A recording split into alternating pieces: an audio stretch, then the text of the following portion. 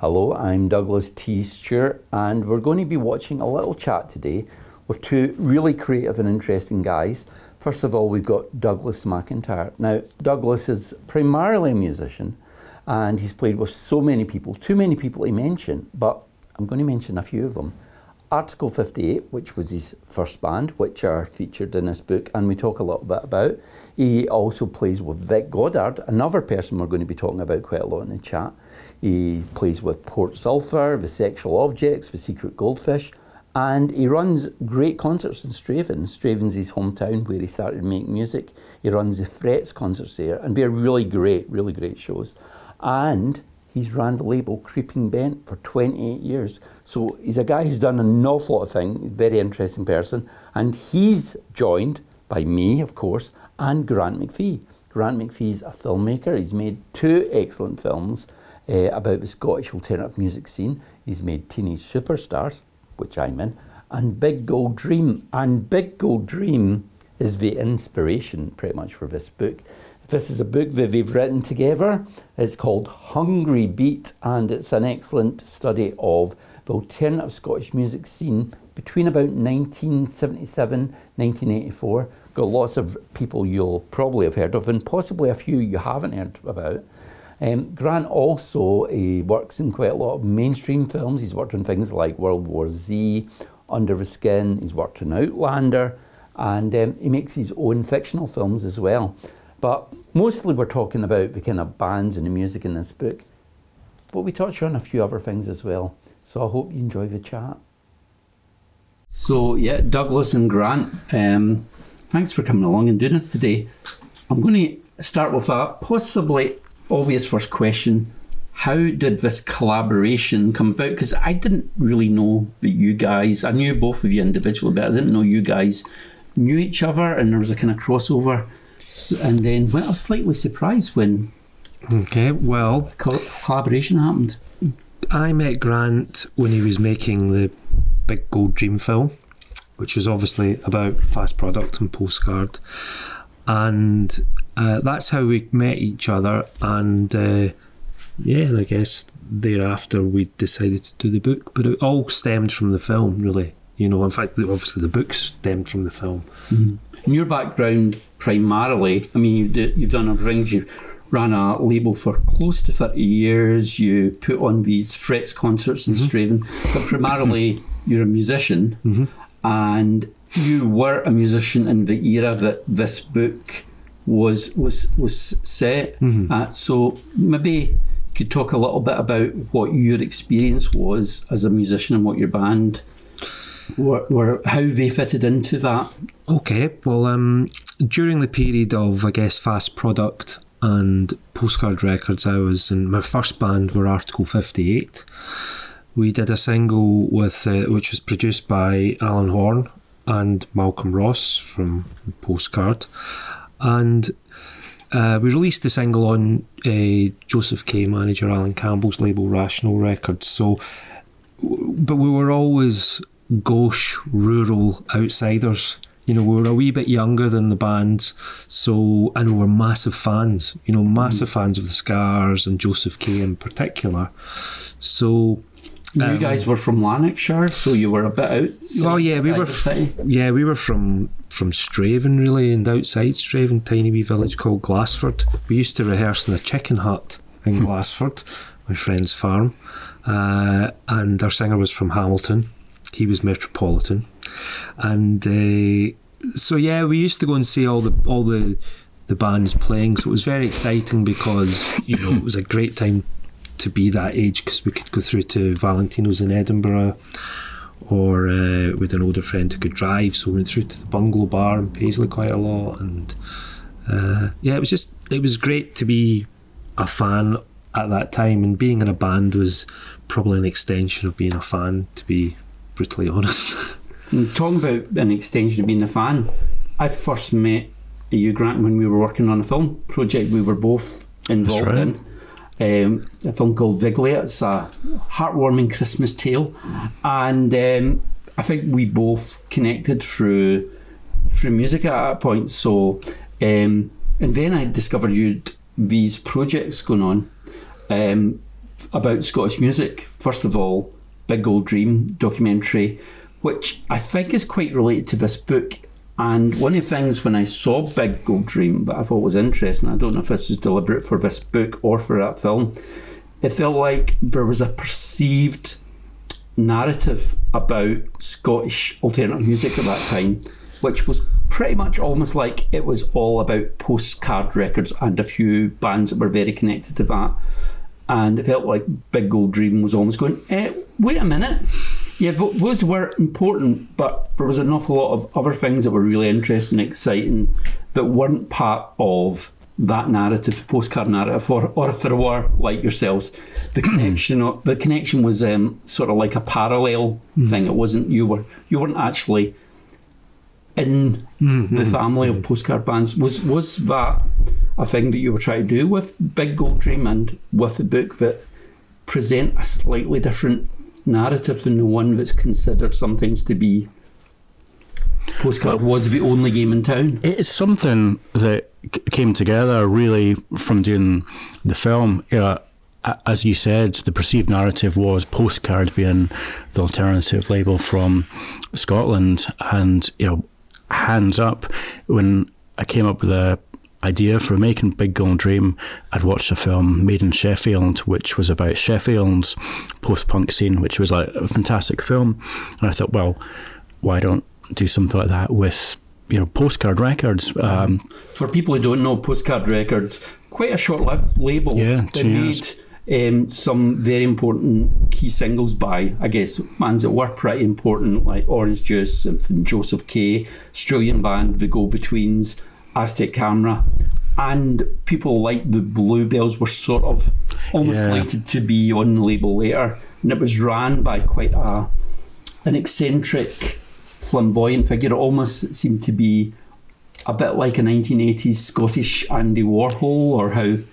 Yeah, absolutely. You know, I suppose you know impresario, like in Alan Horne, sort of like Alan Horne, yeah, and sort of like grand tradition of people like Andrew Oldham, and um, you know, it was almost going to be a documentary and postcard records, and you know, I knew at that time of obviously like Orange Juice and Joseph K. And I met somebody called Manny who was in a band called Win, and I had no idea really what it sounded like and what their story was. And Manny put me in touch with Malcolm Ross, who was the guitarist and Joseph K and latterly Orange Juice. And you know, we had a meeting, and you know, it was like it was fascinating because Malcolm started telling me about these bands like from Edinburgh, like the Scars. I'd never heard of the Scars, and yeah, this was just before you could really sort of use the internet to look things up. And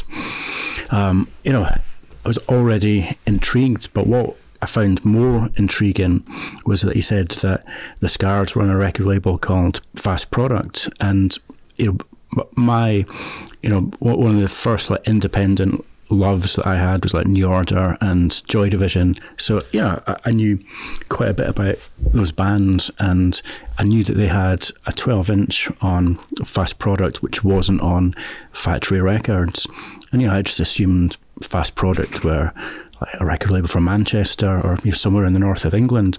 So when Malcolm started telling me that this was like from Edinburgh, like mm. where we were, you know, just sort of maybe a mile away from where we met up. It was like my mind was like, what? How, how can this possibly be that this record label from Edinburgh put out a Joy, a Joy Division single and they put out other stuff into like the Human League yeah. and Gang of Four? And I thought, hold on a second, there's like something that's slightly amiss. And the, the more I started speaking to people, you know, the more this other story came out, and it, it was you know fascinating for me because you know, Joy Division obviously were like a huge band in independent terms, and I couldn't understand why Fast Product just seemed to be you know maybe not a footnote, but it was only mentioned in you know passing in a lot of like music books, and I thought right, let's get to the bottom you of think this. About a band like the Human League. The Human League are a band that well, they have one song. I mean, they have other songs that are massive hits, but they've got one song that it feels like one of those songs everybody in the world yeah. would know. But again, it seems kind of strange, but the, the label who sort of were maybe the first to sort of really champion their music and released a single being boiled um, would would not be really thought about apart from people who are maybe like music anraks or were the right age at that time to be hmm. buying these records from like independent record shops. No, absolutely, and you know, obviously the Human League, you know, certainly Mark One Human League for being boiled, not from Scotland, but you know, the other thing that it was just blowing my mind was discovering that you know it wasn't just like a one-off single they did or with uh, dignity of labor like 12 inch and then they were signed to like a major label it was everything was managed from edinburgh and the pe- person that wrote don't you want me was you know, from Edinburgh. Um, it was just like, what? yeah. And so, you know, sort of, I think he was, he grew, he was born in north of England, but um, you know, he grew up in Fife, where I came from. He, I think he went to, to Leuchars when he was seven. His dad was in the Air Force, and it was just like, hold on a second, you know, why is this not, you know, not exactly front page news, but mm. um, why is nobody talking about this story? And I was thinking, well, you know, if I'm interested in this, you know, there might be a few other people who might be interested in this as well. Um, it, was, it was fascinating. And it's funny because it strikes me in a way that some people could almost see Bob Last, who is the guy behind Fast Product, in a way as also being almost like the East Coast uh, of Scotland kind of Andy Warhol type figure. And I'm not saying either of Alan Horne with Postcard or Bob Last really were like, but I almost felt like they, to a certain extent, had modelled themselves on some sort of kind of factory, kind of impresario, a slightly mysterious uh, kind of characters. How important were those figures um, compared to the actual people making the records? Were they just as important? Were did they have as big a, a part in actually creating? I mean, I think magic? Douglas will have you know you know far more to say on this, but you know I, I think the impresarios are like fascinating to me. I've always been like a huge fan. I mentioned before of Andrew Oldham, the Rolling Stones manager, and I think he's really one of the sort of like blueprints like for all these independent label impresarios. You know, when you see photos of the Rolling Stones, you know, he was their manager and he owned an independent record label. You know, he's always like photographed and with the bands and like the notes, liner notes and the records are like written by him in a very sort of flamboyant style. And I think he was really somebody who shook up the record industry and, you know, flicked the V's to all these sort of like old tatted suits and, you know, the 60s you know, music industry was very much, you know, it was like it was like you know the establishment, you know, people with suits and ties, and I think that these independent impresarios were just really the next in line who took it one step further by doing everything independently. Yeah. And you know, I think Douglas mm. will be able to. You know, Douglas knew them both. Well, yeah. I mean, I think there was um, the Andrew Loog Oldham comparison is really accurate. I think. Yeah, I think that's a better one than my Andy Warhol one. Well, yeah. I think it's all uh, they're all they all feed into it. I also think, uh, particularly probably with Alan Horne, like Bernard Rhodes from you know who managed the Clash and the Subway Sect was a big influence. Malcolm McLaren was a big influence on Bob Last. Yeah, and. Uh, and I think you know Bob Last and you know Hilary Morrison, who was also vitally important in Fast Product.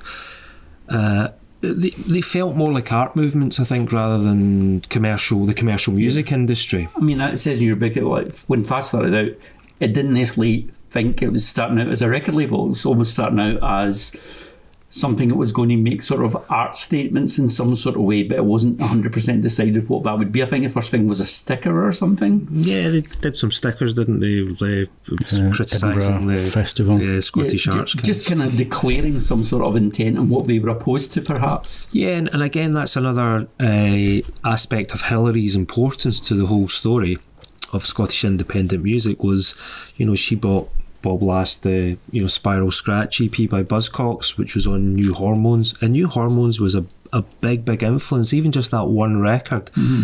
really permeated right across all the bands and I think all the people that were running the labels. So she bought that uh, single uh, for Bob Last, and that was the moment Bob realised that well, this is what fast product should be. We should start engaging with these intelligent uh, and crazy young people and start making a noise. And there was something kind of a bit of a DIY ethos with something. Uh, well, you had your postcard records, which were like coloured in in Alan Horne's flat and wrapped around records by the people actually making the records and their kind of extended family of friends and fellow musicians. There felt like there was definitely um, and that continued on to things like creation, where mm-hmm. it was like you know folding up the sleeves, the artists yeah. all sitting in Alan McGee's flat, folding them up themselves, putting up their own posters, designing all that stuff. So the the art obviously was a big part of it. And I think for for me, people like I find Andrew Golding much more interesting than I find any of the Rolling Stones. I find Malcolm McLaren more interesting than I find the Sex Pistols. Mm-hmm. And a lot of these figures, I, I think, like uh, you were suggesting, Grant, I find something's much more interesting. Um, and I, sure. and I think the Spiral Scratch one's in a very interesting one because if MD can you know if you don't know that record it's an amazing record but mm-hmm. it's also the way it was packaged it was one of the first records that I remember seeing and it was it just didn't look like gloss like mm-hmm. mm-hmm. major label fare it looked mm-hmm. like something something different and something new and something almost that you could do yourself yeah I think there was a real encouragement from records like Spiral Scratch and I suppose the Des- Desperate Bicycles and Scritti Politti in their early phase on Rough Trade, where it was imploring people, look, you can do this. You know, here's how. There's no no mystery to it. Here's how much it costs to make a record. Here's how much studios cost, and that demystified the whole uh, idea of how you you engage and put records out. I think. I think one of the other things that I really love in the book is uh, talking about the White Riot tour, which was a tour headlined by The Clash. But um, it's funny because there's the stuff that I knew, but I'd never really clarified in my own head, but made complete sense of how important that tour was to the, I guess, wave of Scottish musicians that I ended up be- becoming part of and you became part mm. of. That the support ba- bands the Slits and Vic Godard, mm-hmm. uh, primarily Vic Godard and the Subway Sect, almost were more important, I think, to Scottish bands, perhaps more so than the Sex Pistols or the Clash or any of the bands. There was a kind of ethos that it wasn't totally punk as we understood, or it wasn't punk rock. Mm-hmm. The Slits have always, for me, been almost, you know, one of the top five bands of that period. Yeah. It just I've loved, and it was the first gig I got turned away for for looking too young. Wasn't like going to see them in Tiffany's in Glasgow. When I reached the door, I'd walked into Glasgow to go and see them, twelve miles, and got sent home because wow. they were old enough to come in. First and only time it ever happened to me. But the Slits were um, an all-female band.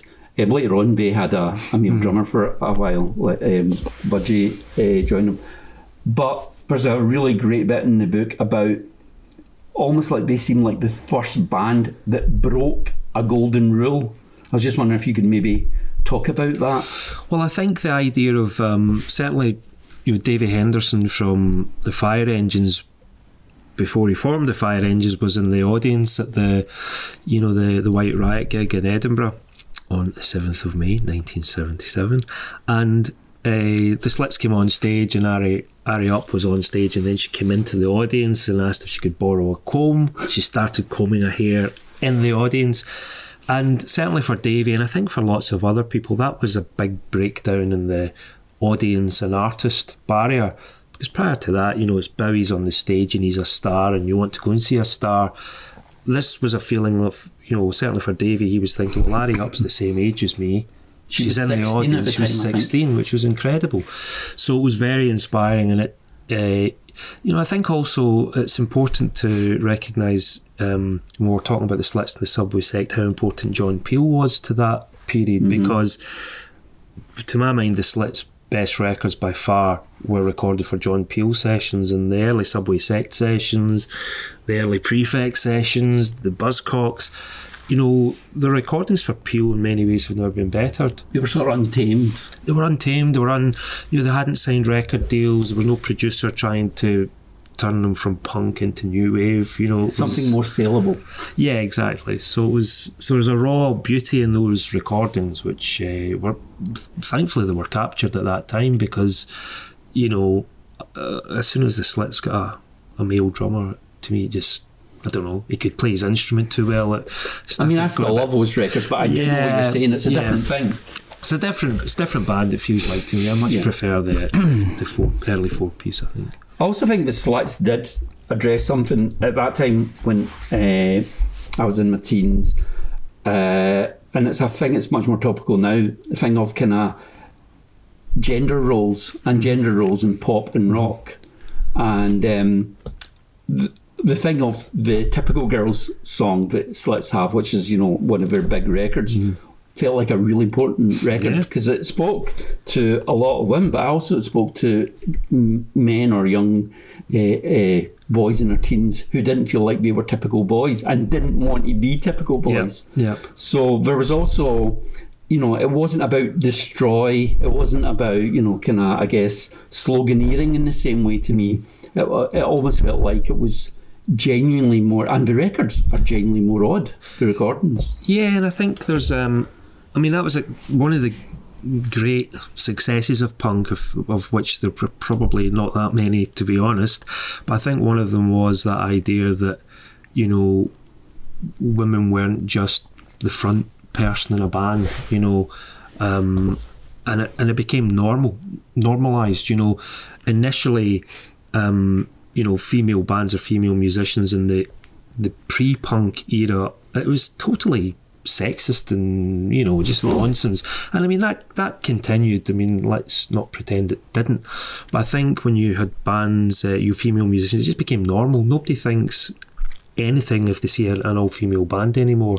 And i think the slits were pioneers in in a you know in that approach. And they didn't have any um, echoes of male rock to mm-hmm. me. I think there are echoes of a kind of very male rock in some of the Sex Pistols stuff. yeah But it- it's almost like if you hadn't heard the Slits before and you put on a Slits record, you go, what are the references here? yeah that's It's that's it. completely they created their own sonic landscape that just was completely different and didn't follow kind of male rules. Yeah, I mean the Sex Pistols was like you know they were they were the New York Dolls really. You know it was rock and roll and you know male rock and roll. I think I think you know that's that was absolutely true, and I think probably another aspect of the Sex Pistols that was uh, their influence on the the Hungry Beat generation was probably the artwork was more important. I think you know Jamie Reid's artwork I think really connected with people. Um, and you know the Pistols were great as a as a rock and roll cleansing device, but moving forward and creating something new, I think you are looking at the Slits and the Subway Sect Yeah. as really well. This is new, lyrically it's new, sonically it's new. I think for more than a generation of Scottish bands, and actually possibly generations of Scottish bands who don't even necessarily realise that they're very influenced by Vic Godard and the Subway Sect. I think they're such a key band. And, you know, when I listen to those early records, or when I listen to the other records that I feel are influenced by them, I just hear each other so many times. Uh, you know, like Orange Juice records mm-hmm. could not have existed without Subway Sect for me. And that's not taking anything away mm-hmm. from Orange Juice. And obviously, Orange Juice went on to have hits and be this mm-hmm. big thing that, that Godard and Subway Sect didn't.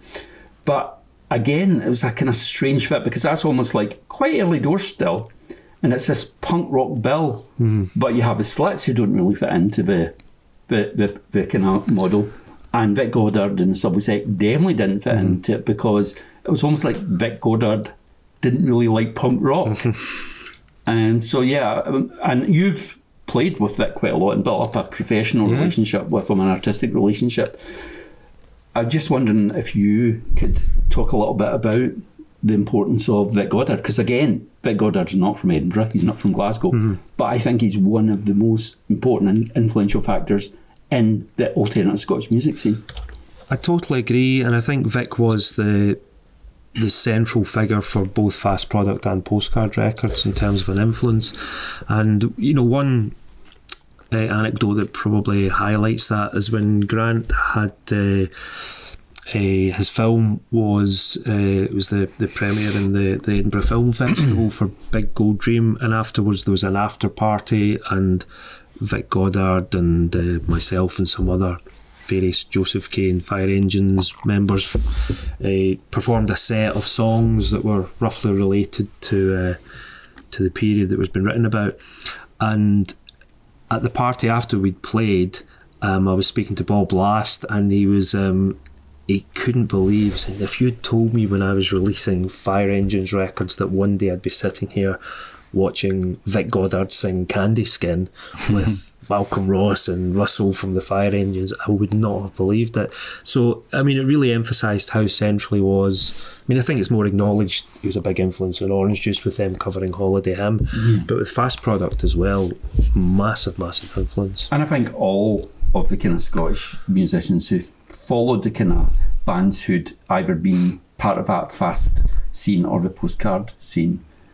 You know, even if he didn't know it, as I say, you know, Norman and I both had Spiral Scratch. We mm. both had like early Vic Godard mm-hmm. and Subway Sect records. So we were old enough. We were the right age to, mm-hmm. be, you know, be aware of that. But I think people who listen to Edwyn's songs and James's songs and Orange Juice and maybe thought that was their year 0 uh-huh. didn't actually realise well, it was actually.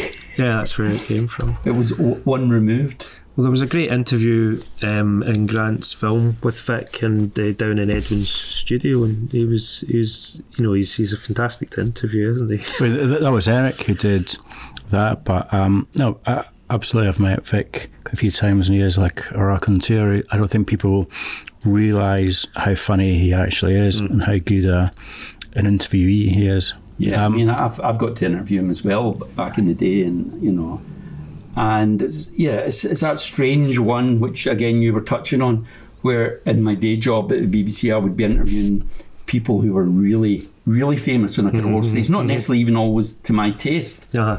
You know, so I'd be interviewing these like big international pop stars with number one records and TV stars and occasionally even film stars. And then I'd be interviewing Vic Godard, kind of going home. I can't, I can't believe. And at that time, I think Vic was working as a postman. Yeah. yeah. But to me, he, he was like, he's a giant. Yeah. yeah. No, completely. So, yeah, in you know my day job, um, working in sort of other people's sort of films, you know, I've been lucky and worked with a lot of sort of you know, famous actors, but um, you know, it's just like a day job, but it's like speaking to people like your Vic and yeah. you know, Norman as well. I remember getting really excited speaking mm-hmm. to to Norman Blake. But yeah, so. You've, so you've got Brad Brad Pitt, who I'm sure is a people nice guy, and I know people have met him and said he is, but he's not. He's no Vic Godard. No, exactly, exactly. I mean, Vic's almost like uh, to me, he's always halfway between an existentialist like. oh, Albert Camus and uh, and Norman Wisdom. yeah, somewhere in the middle. And it's interesting because I think so much of this, as I say, you're primarily a filmmaker and you write about music as well, really beautifully and full of passion. You know, you're okay. obviously, I think, like all of us, a fan who wants to share that passion, yeah. not, not keep it to yourself, but go, listen to everybody's these amazing things. But there's a real crossover for a lot of these artists in the importance of not just music, but actually being really aware of exciting artists in other fields. And I think sometimes I I get slightly worried when I meet people who want to be creative or see themselves as being creative, but they're not actually very interested in film or visual art or, or things like that. And um, this felt like it was an era where it, it, it was like the, the barriers between making music and making art, pop music and art, were, were definitely, they were thin. I mean, with I mean, I definitely think they're, they're both like art movements. I mean, and I remember um, when Article 58 were in recording uh, our single uh, with Alan Horne and Malcolm Ross, Alan had the uh, Lubricate Your Living Room, uh, you know, Fire Engines record, but it was before it was released. So Lubricate Your Living Room was released by the Fire Engines on a label called Accessories which was a sub label of Pop:Aural, which was a sub label of Fast Product, and it was hmm. it was kind of like a remix album of an album that hadn't been recorded. Now, meta is an overused word these days, but it was absolutely I mean, I couldn't understand it. You know, Alan Horne was trying to explain to me what Bob Last was trying to do with that release, and it's like, you know, my gauche rural naivety was really kicking. I was like, I don't really understand this. I do now, of course. Well, I did quite quickly thereafter, but it was a brilliant idea. It, it's taken you forty years. Forty years later, I've gone, but it was that idea. It was a brilliant idea, and I mean that you know, it was more of an art concept in the true sense of that term than. Uh, than a rock and roll record. You couldn't really define it. Was it a remix? Was it a 12 inch single? Was it an album? No one really knew. And I think that mystery was something that the, the Fire Engines loved. And that's why they wanted to work with Bob Last. And they almost gave themselves over to Bob Last and just said, right, you package us however you want to use us, use us. And, you know, a lot of bands you know, like in bands, Douglas, a lot of bands, the ego and the, very precious, they wouldn't give themselves over to another artist, mm-hmm. particularly someone who runs a record label nominally, you know. Well, I guess, yeah, the Velvets, yeah, giving themselves over to Andy Warhol in quite a in quite a major way. Yeah, yeah. M- must have been something again that these I can imagine the fire engines would be kind of. Oh yeah. Well, if that was if that was okay for the Velvet Underground, we probably model ourselves more in the Velvet Underground than we might the Rolling Stones or the Beatles, although mm-hmm. they both had, well, the Rolling Stones certainly had a kind of strong yeah. artistic kind of. No, I think you're right. I, I think um, I think the idea of having and Bob Last packaging and Hilary Morrison's photography, and you know, it, it was really telling. I think that they had such a deep interest in packaging consumerism. You know, it was related to a lot of. Uh, you know, a lot of art theory, but but it was good. it was art theory you could dance to. It was interesting, and it wasn't just for the sake of it. You know, they were making really important records, and you know, it mentions in the book the uh, you know the Gang of Four obviously had very uh, clear ideas about how they wanted their single to. Uh, you know, the single artwork to look and they sent it all up to Bob and he uh, Bob Last just turned it completely on its head and did the complete opposite. And but incorporated their letter which explained how they wanted their artwork to look. So which the band hated. You know I mean we were talking to Bob recently and uh, you know it, it, wasn't just like they didn't like it. I think uh, certain members of the band just didn't really talk to Bob again. Yeah, it, puts, it puts them in a vulnerable position that we don't I think maybe also a lot of people in bands things when they're a certain age, the last thing they want is almost the thing that happens to the magician where the curtains pulled aside mm-hmm. and you discover it's all been a trick. Uh-huh. And uh, I'm not meaning it really was a trick, but they, they don't necessarily want to really reveal a certain kind of vulnerable side or a planning side. They want mm-hmm. it maybe to seem a bit more spontaneous and. Yeah, and I think it was the process, wasn't it? It was very much, you know, Bob was like, um, I suppose stripping back the process, there were you know a lot of like Brechtian ideas of well, this is this is behind the screen, and he was kind of showing that, and it's you know most bands like the screen.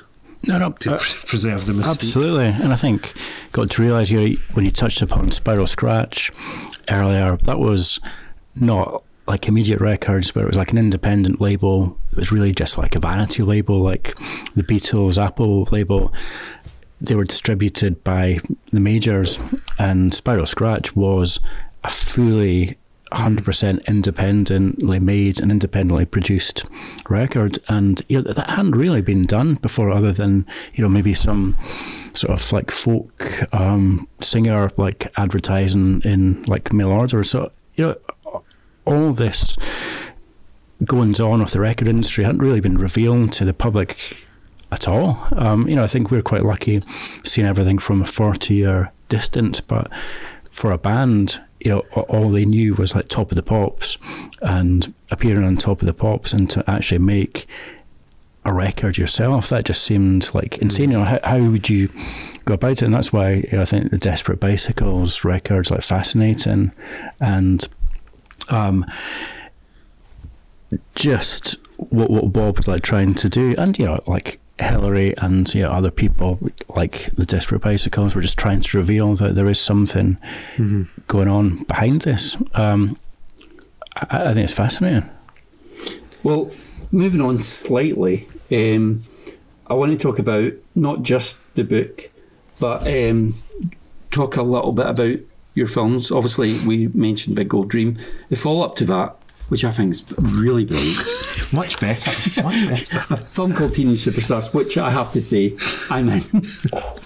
and uh, again, it's such a, a beautiful film. And one of the things that so many people talk about in that film, which again is slightly uh, aside aside from the music, is it being a film about friendship and about the new friendship where everything is beautiful and where the friendships people start to slightly fall out of love with each other and things like that. Was there a point where that did that become a thing that you had almost as an agenda you wanted to be part of the film, or was it something that just organically happened almost by accident? No, I think you know, and you know, we have a fantastic editor, Andrew Slavin, who you know massively has like you know made the films with our, but you know, to me, things that are interesting about music, you know, we could like just um, have a Wikipedia entry for you know any band, but it's like very sort of dry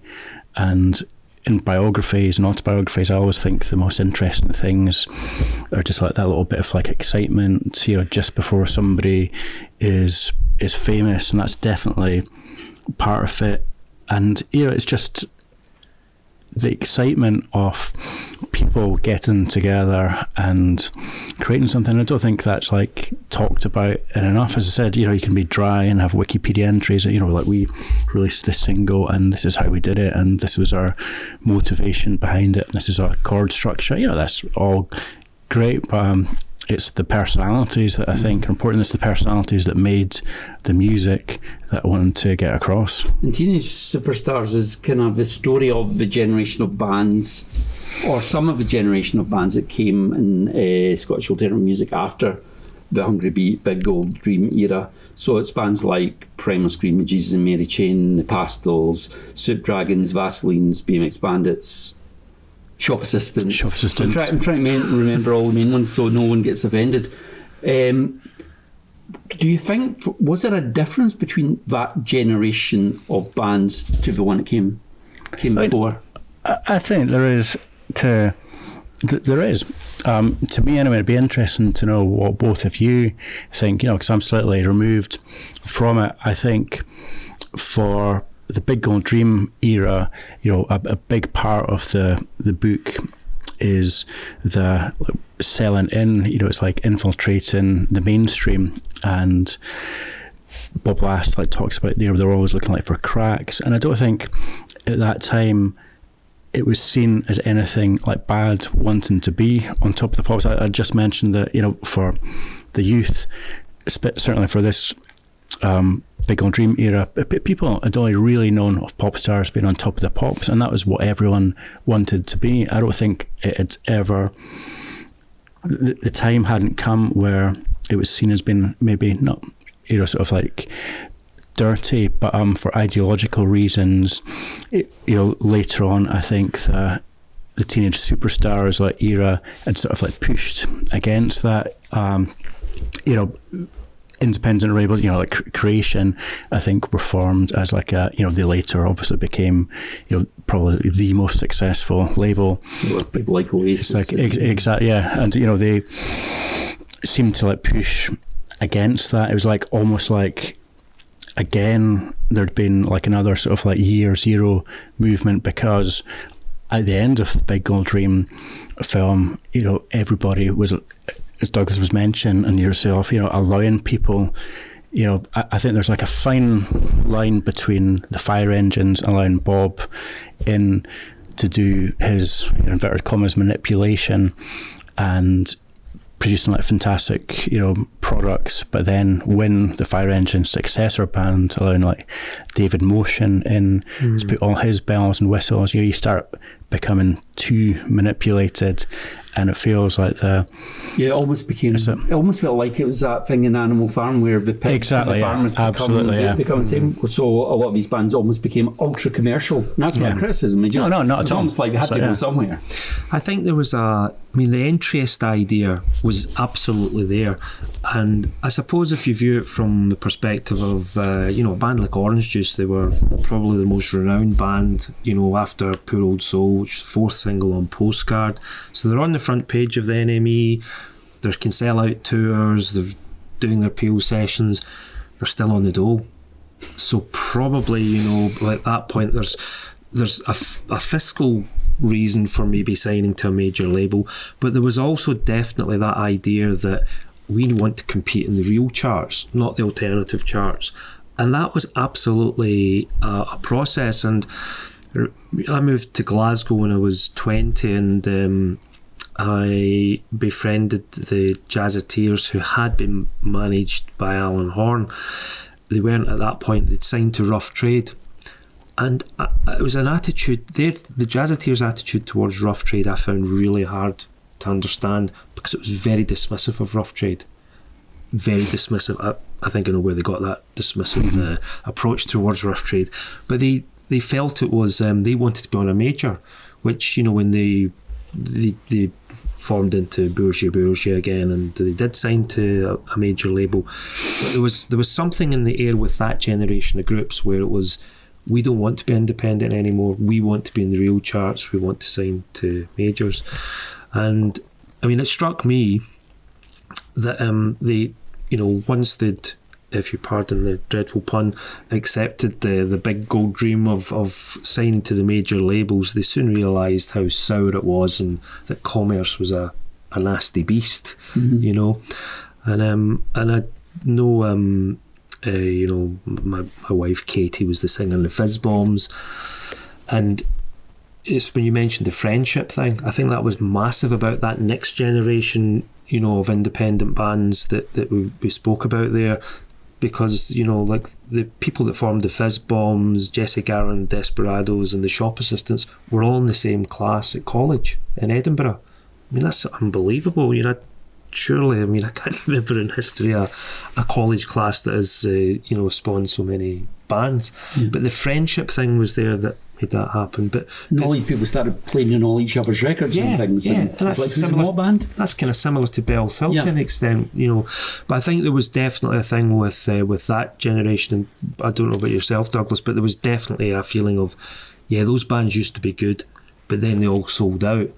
And I think that's why they became quite fiercely independent because they'd learned the lessons from that immediate generation before them that had, you know, taken the money and had their records diluted to slop in a lot yeah, of cases. well, it's funny because at the time I remember a lot of the bands when he went major. The first thing was when you heard the new records, you were like, these are too slick. Now, when I listen to a lot of their records, mm-hmm. I go, they sound great. yeah. But at the time, a bit like you were talking about mm-hmm. the Slits, you mm-hmm. know, first proper album on yeah. Island, it felt like something, it was like a more pop version, yeah, more marketable yeah. version uh, of what they'd uh, been. Just to um, wrap up for now, um, yeah, anybody is looking for a present, not just for Christmas, for any time of year, and you're interested in music, I cannot recommend this book, oh, and I cannot recommend Grant's films um, enough because uh, you know I think they just really capture, but like a time capsule. Uh, you know, where you're allowed to go back into a world that was really, really important and really exciting to be part of as a fan or as a, an artist. So yeah, please, you know, do consider. And there's a talk. There's a there's a talking book version of this as well for Apparently. people. There yeah. is, but not um, voiced by the people in the film. It's voiced by actors. Wow. Yeah, it's, it's quite well. It's like um, it's almost like a fast product release in itself. If there's going to be one about uh, kind of an next era, uh, I'll try and think of who could play me. Um, Brad Pitt. Brad Pitt. but anyway, um, one of the things I wanted to wrap up with is just from both of you. Uh, we're going to have a thing where we ask people to recommend one particular thing, specific thing. Uh, you're a documentary filmmaker uh, Grant, and I know you're very passionate about a lot of other people's work. Um, if you to recommend one music documentary that you didn't make that you feel everybody should see, that's a, what an essential one, what would it be? Um, you've put me on the spot there, Douglas. I, am trying to think because I you know, watch music documentaries with a passion, and I'm trying to think um, which one that I've seen recently. Um, I'll have a little think um, if you ask Douglas okay, his right, question. Okay, while, okay. while Grant's thinking and going through his life, yep, yep, uh-huh. if I could just ask you for what album and single because I think it's singles Okay. were incredibly important in it as well as album. Which album and which single, if you could only listen to one as a gateway into the world of Hungry Beat, what should they put on? Okay. Um, right. Well, again, to make sure I keep the the east and the west talking to each other, I'll start off the Fast Product record, which was Fast Eight, which was Scars single, um, Adultery and Horror Show. The, I mean, it wasn't like a B side; it was almost like two singles for the price of one. Uh, that was really the, the moment where it all came together for me. An incredible record still sounds amazing, still sounds super exciting. So that would be my single. And then uh, going along the motorway to Glasgow, I, I would choose an album on Postcard, which is the only album released on Postcard, was Joseph K's album, The Only Fun in Town, which uh, obviously a bit of a controversial gestation period because they scrapped their first album, Sorry for Laughing, and released a went to record The Only Fun in Town in Belgium. A lot of people really hated it. Like important journalists who'd been supportive of the band, like Dave McCullough at Sounds and Paul Morley at the NME, uh, really slammed the album, and they were so influential at the time because they were big supporters. Uh, I think it's absolutely fantastic. I think it really captures the live energy of Joseph K because they were always a better live band in in the studio. The good fortune with Article 58 of touring with Joseph K just when that album came out, and they they were incredible. It was like the white light, white heat, velvets, frenetic excitement, amazing. So that's my favourite album from that period. Okay, back to you, Grant. Uh, Lawrence of Belgravia, which um, you know is a film that I know you've seen. It's a, a Yeah. wonderful film about Lawrence from Felt and Denim and Go Kart Mozart. Was Yeah. was that in the time? Yeah, yeah, Chris, yeah. in the film. Um, a fantastic film. I mean, um, I think he is one of the great, not just greatest musicians, but greatest artists of the kind of modern No, era. completely. Law- Lawrence, Lawrence Belgrave, it's an amazing film. Absolutely, and you know, a, a big part of I think all these books and like films, and you know, especially Lawrence is you know we call the film teenage superstars because these people are stars. You know, you don't necessarily have to have you know a number one million selling record. It's just like there's the type of person who um, is the characters, and I think this book is like full of people like that. You know, Davy Henderson is. Oh, he's Yeah. an extreme guy. Yeah, he's like a superstar, but um, you know, he sold his last record sold one copy. That's right. I know. But the one person he sold it to could be an important listener. I think so, yeah, yeah. Well, hopefully the book will go on to sell many more. I know it's already sold more than one copy. um, but uh, yeah, thank you so much for coming along today. Oh, thank you. Uh, Yeah, it's great thanks, to talk Douglas. to you guys. It's always a pleasure, never a chore when I meet you guys. Yeah, Likewise. Hungry Beat. Um, as I say, I, I think it's a great book, and I look forward to. Will there be a follow up? There might well be.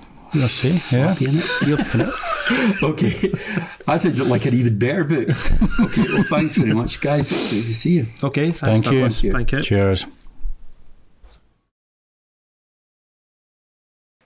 Okay, this is um, pretty excitement. We've got two Douglases for the price of one here. And we're going to do um, a song by a guy called James Kirk, who first, I guess, uh, gained fame from being one of the two writers in the early Orange Juice records. And then he, he, went, he went solo. Uh, well, he had a band called Memphis, and then he, he went solo. And we were talking about Vic Godard, and I think this song has got a big Vic Godard influence to it. And um, it's a little bit seasonal, but you can enjoy it at any time of the year, I would say. This is called Après Ski, written by Mr. James Kirk, originally recorded by Memphis.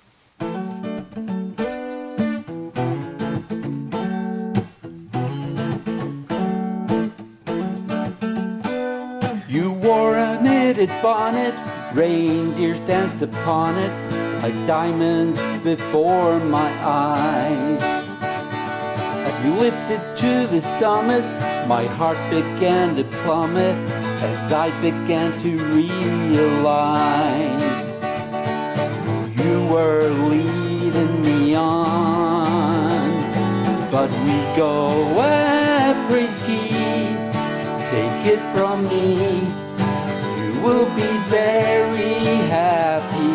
As we go higher and higher, you'll realize I'm leading you on.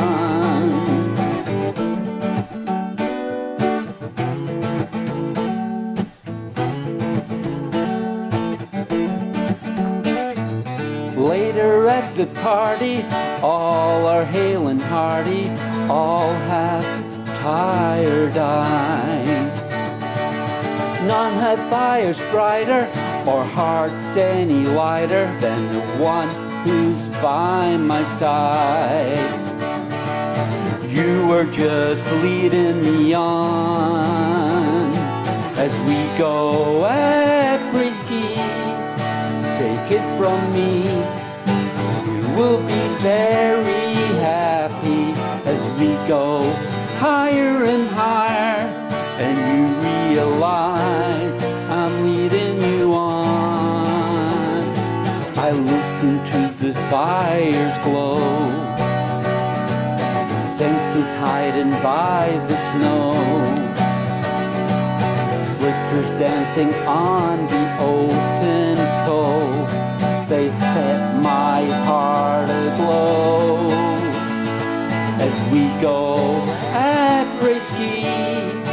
Take it from me, we will be very happy as we go higher and higher, and you realize I'm leading you on as we go ski. Take it from me, you will be very